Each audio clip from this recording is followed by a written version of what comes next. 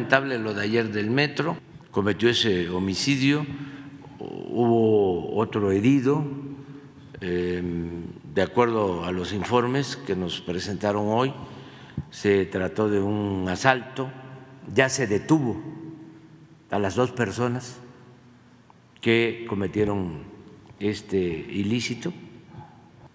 y hay vigilancia constante y ya se conoce el móvil, fue robo, 15 mil pesos, se tiene ya